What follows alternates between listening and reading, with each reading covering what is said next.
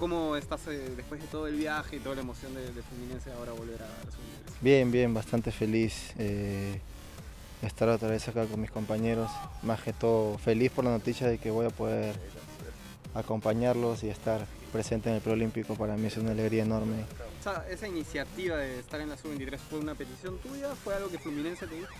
Fue una petición mía, creo que el, el- el club entendió lo importante que es la selección para mí eh, y al final me, me pudo ayudar y, y se dio el permiso, así que hoy estoy acá y estoy muy contento. Uno de tus compañeros salieron lesionados y, y hay uno que incluso ido a la clínica. Sí, es, es preocupante que a esta, etapa del- de los días para viajar pase este tipo de cosas, pero bueno, siento que, que- que estamos bien, que, que esto no nos va a tumbar ni nada por el estilo.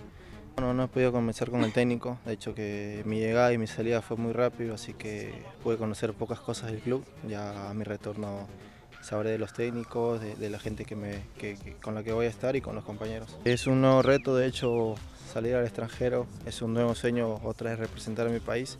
Eh, creo que lo primordial ahora es el preolímpico, poder clasificar a Tokio, darle la alegría al Perú y ya después voy a pensar en lo que, en lo que se viene para Fluminense.